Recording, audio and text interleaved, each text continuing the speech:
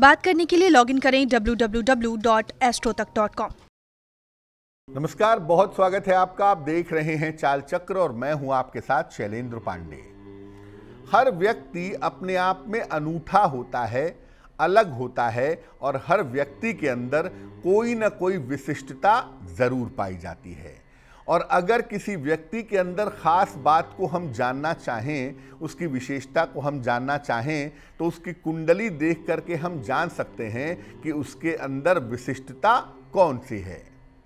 चाल चक्र में आज बात करेंगे कि आप अपनी शक्ति को, अपने विशेष गुण को कैसे पहचान सकते हैं और उसका प्रयोग करके जीवन में बड़ी सफलता कैसे पा सकते हैं। अब जानते हैं कि हर व्यक्ति के अंदर ऐसी कौन सी खास बात होती है जिससे वो व्यक्ति भाग्यवान बन सकता है, भाग्यशाली बन सकता है? देखिए, हर व्यक्ति पाँच तत्व से और नौ ग्रह से नियंत्रित होता है। हर व्यक्ति की जो हम कुंडली बनाते हैं, उसमें देखते हैं कि पाँच तत्व की स्थिति क्या है और उसकी कुंडली में नौ ग्रहों की स्थिति क्या है। हर तत्व की एक विशेषता होती है। जैसे जल तत्व का जो व्यक्ति होगा, वो बड़ा भावुक, बड़ा इमोशनल होगा। पृथ्वी तत्व का जो व्यक्ति होगा, वो पैसे के पीछे भागने वाला, बहुत मटीरियलिस्टिक होगा। तो हर तत्व की अपनी एक विशेषता होती है और जब यही तत्व प्रधान हो जाता है तो व्यक्ति के अंदर खास बात पैदा हो जाती है। अगर केवल ग्रहों का साथ हो तो व्यक्ति परिश्रम से खास बनने की कोशिश करता है। आपका मंगल बड़ा अच्छा है तो आप बड़ी मेहनत करेंगे अपने जीवन में साहस के लिए, अपने जीवन में शौर्य के लिए और अपने जीवन में आत्मविश्वास के लिए। लेकिन अगर केवल तत्वों का साथ हो तो व्यक्ति खास स्थितियों में जन्म तो लेता है, लेकिन उसका प्रयोग नहीं कर पाता। आपकी कुंडली में फायर एलिमेंट लीड कर गया। आप किसी ऐसे परिवार में पैदा हुए, जिस परिवार के लोग आर्मी में हैं। आप आर्मी में जा सकते हैं, ऐसा अच्छा मौका है आपके पास, ऐसी सुविधाएँ हैं, लेकिन आपका कभी मन ही नहीं किया कि आप आर्मी में जाएँ। नतीजा क्या होता है कि स्थितियाँ तो आपके फेवर में होती हैं, लेकिन आप उन स्थितियों का फ़ायदा नहीं उठा पाते। अगर व्यक्ति के अंदर खास बात हो और साथ में ग्रहों का साथ मिल जाए तो व्यक्ति अपनी विशेषता से महान बन जाता है। कहने का मतलब यह है कि ग्रह भी मज़बूत हो और जो कुंडली के तत्व हैं, वो भी मज़बूत हो जाएँ तो व्यक्ति अपने गुणों में विशेष होता है और अपनी विशेषता से महान बन जाता है। बिना किसी खास बात या विशेषता से किसी व्यक्ति का जन्म नहीं होता। हर व्यक्ति के अंदर कोई ना कोई विशेष गुण ज़रूर होता है, इसलिए हर व्यक्ति को अपनी विशेषता पहचानने का प्रयास ज़रूर करना चाहिए। आप ये नहीं कह सकते कि अरे वो बड़ा दुबला है, बड़ा बीमार रहता है, उसके अंदर कोई खास बात नहीं है। खास बात है, लेकिन वो छुपी हुई है। हर पत्थर के अंदर मूर्ति है। लेकिन पत्थर के ऊपर से जो फालतू टुकड़े हैं वो काट करके हटाने पड़ेंगे, तभी पत्थर के अंदर से मूर्ति निकल पाएगी। इसलिए हर व्यक्ति के अंदर विशेषता है, लेकिन उसे अपनी विशेषता को पहचानना होगा, उसका प्रयोग करना होगा, तब जाकर के वो जीवन में विशेष और महान बन सकता है। अब हम ये जानते हैं कि ये कैसे जानेंगे हम कि हमारे अंदर कौन सी खास बात है। हमारे अंदर कौन सा गुण है? अभिनय का गुण है, बोलने का गुण है, लिखने का गुण है, या चिकित्सा का गुण है हीलिंग क्वालिटी है? कौन सा विशेष गुण है आपके अंदर? ये कैसे जानेंगे? देखिए, अपनी कुंडली का या हस्तरेखाओं का गंभीर अध्ययन और विश्लेषण करवाइए। आपकी कुंडली गंभीरता से देख करके ये जाना जा सकता है कि आपके जीवन में विशेष क्या है। या आपके हाथ की रेखाओं को देख करके जाना जा सकता है कि आपके जीवन में विशेष क्या है।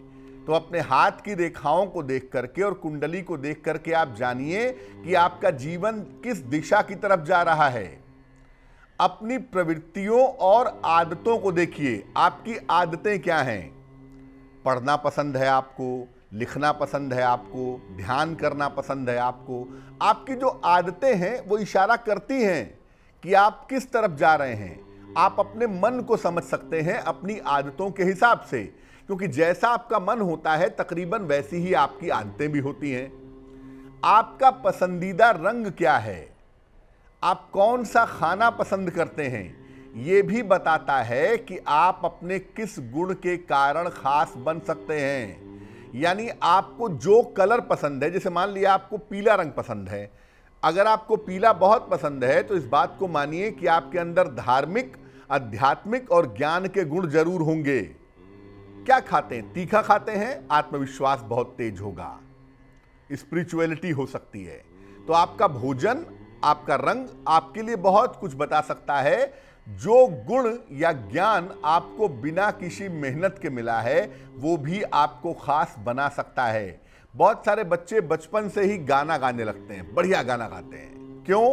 क्योंकि पूर्व जन्म में अभ्यास किया है और इस जन्म में आके गाना गा रहे हैं, यानी इस जन्म में वो गुण आपका प्रधान हो जाएगा। अगर आपका झुकाव किसी विशेष उपलब्धि की ओर है और उसको पाने में मुश्किल आ रही है तो उसको पाने के बाद भी आप खास बन सकते हैं।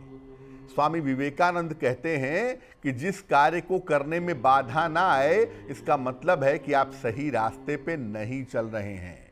इसलिए कोई आपकी इच्छा है उसको पूरा करने में बड़ी बाधा आ रही है तो इसका मतलब वो काम जब आप पूरा कर लेंगे तो आप जीवन में विशेष बन जाएँगे।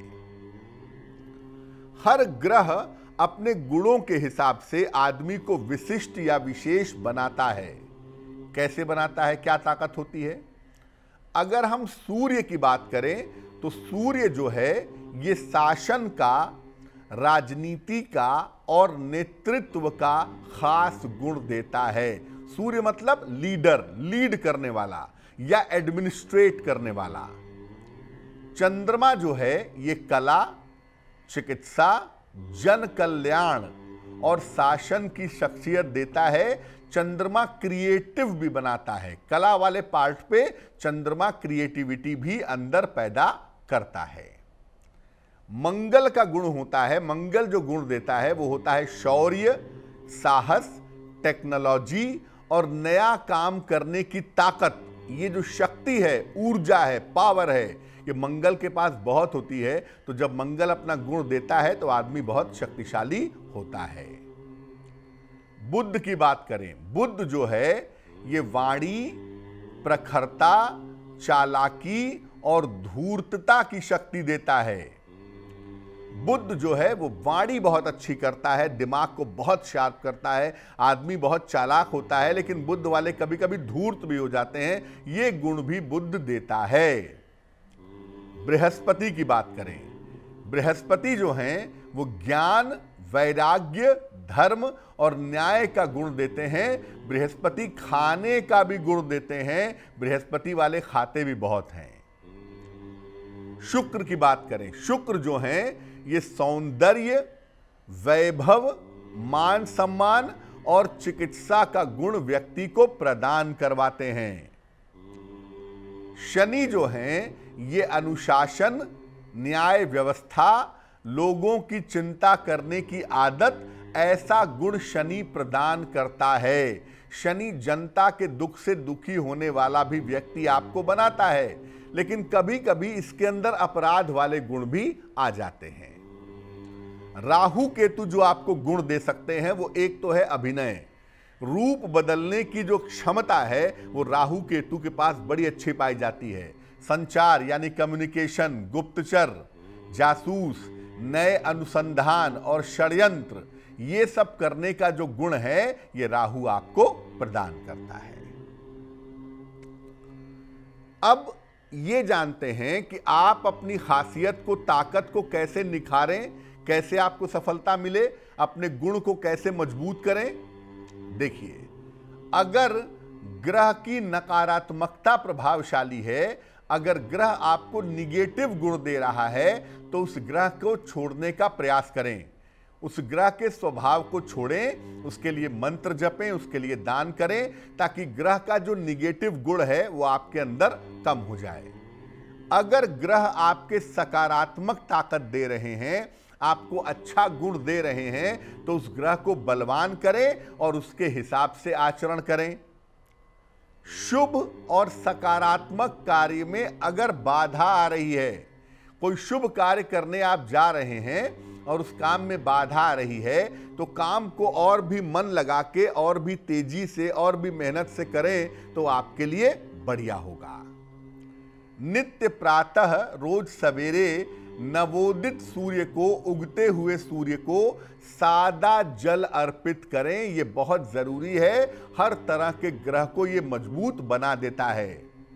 और रोज सवेरे अपने माता पिता के चरण का स्पर्श कीजिए और अपने सर पर उनसे आशीर्वाद लीजिए। उनसे कहिए कि आपके सर पे हाथ रख कर के आपको आशीर्वाद दें। अगर आप ऐसा करेंगे तो आपके अंदर की जो शुभता है वो बढ़ेगी, आपके अंदर की जो विशेषता है वो बेहतर होती चली जाएगी।